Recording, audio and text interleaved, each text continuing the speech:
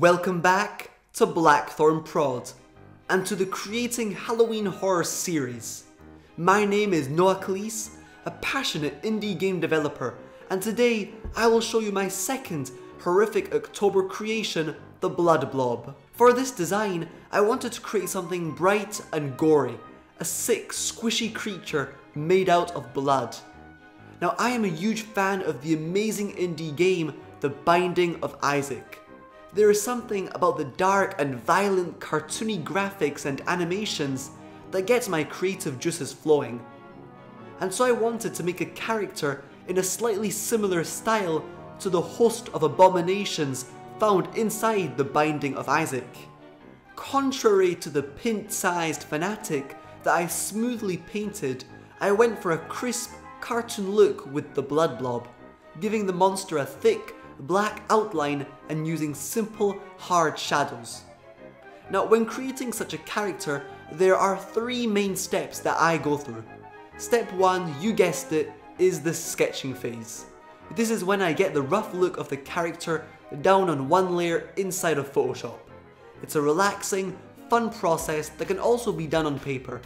Using Photoshop and the Wacom tablet works best for me, the eraser doesn't leave any trace or crumple the piece of paper.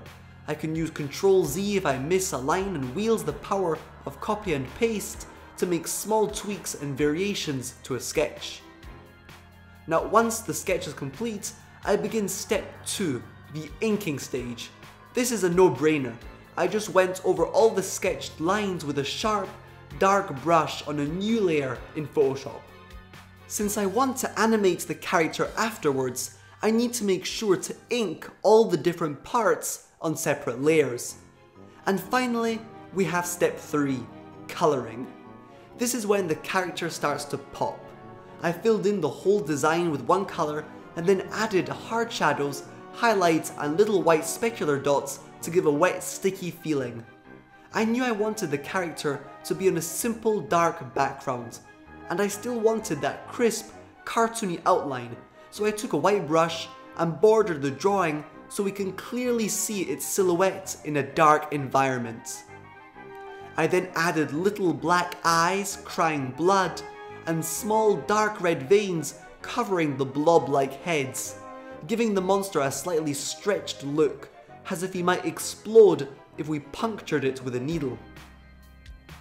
Once the design was complete, I brought it inside of Unity to begin work on the animation.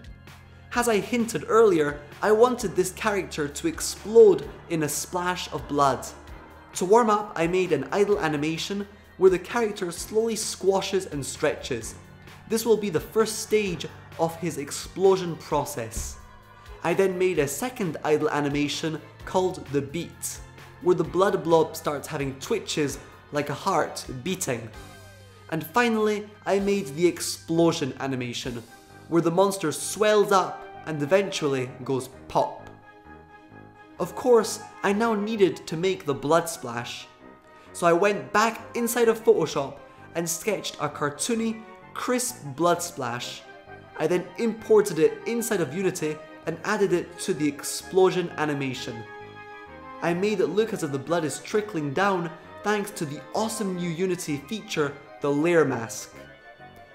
The final step was creating a small C-sharp script that makes the blood blob play the idle animation, then the beat animation, and lastly the gory explosion. And there we go, that's my second Halloween horror, the blood blob.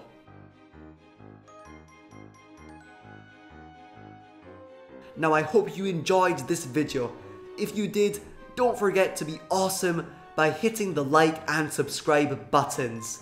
If you would like to see me create a certain Halloween horror, post away in the comment section below and I will be delighted to begin work on it. Alright, see you on the 7th of October for the Halloween horror number 3. Thanks so much for watching, cheers!